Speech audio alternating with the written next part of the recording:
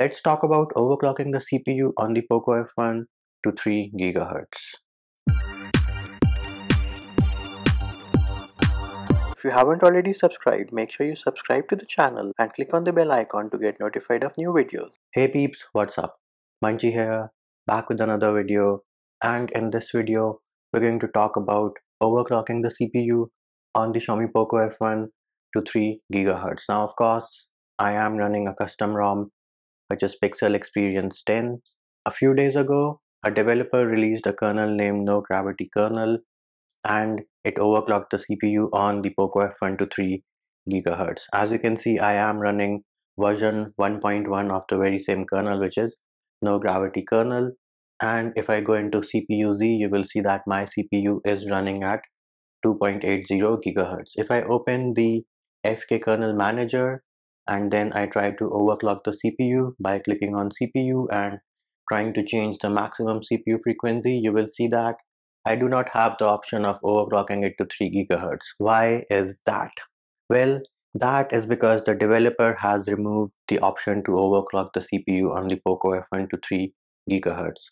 The reason for that is even if you set the frequency to 3 GHz using a custom kernel, the processor will not use that frequency. It will still be using the 2.8 gigahertz frequency. CPU-Z will show you 3 gigahertz, but the processor is not using that 3.0 gigahertz frequency. It is locked in at 2.8 gigahertz. How do I know all these things? I know all these things because I talked to the developer on Telegram and this is what he told me. He told me that in version 1.0 he did try overclocking it to 3.0 gigahertz, but the processor does not use the 3.0 gigahertz frequency.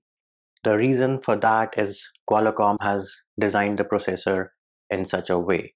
Now you might come back and tell me that oh there are other devices which are running overclocked CPUs on the Snapdragon 845. The only device which I know of running an overclocked Snapdragon 845 is the Asus ROG phone and even for that Asus got the highest bend Snapdragon 845 processor from Qualcomm. So any other device like say the Pixel 3, the OnePlus 6, the OnePlus 6T, if you try to overclock the CPU on those devices to 3.0 gigahertz, it's not actually running at 3.0 gigahertz, it is running at 2.8 gigahertz, which is why I think you do not have any custom kernel available for the OnePlus 6 or the OnePlus 6T which can overclock the CPU to 3.0 gigahertz. You can of course overclock the GPU if you want to, but the CPU cannot be overclocked to 2.9 or say 3.0 gigahertz. The maximum a normal Snapdragon 845 can go to is 2.8 gigahertz.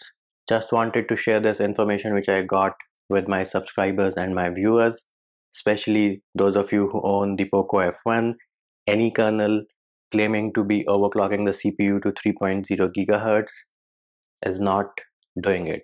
It is running at 2.8 gigahertz and that will do it for this video. I hope my video helped you. Likes, shares and subscribes are appreciated. Feedback and comment more than welcome. See you when I see you.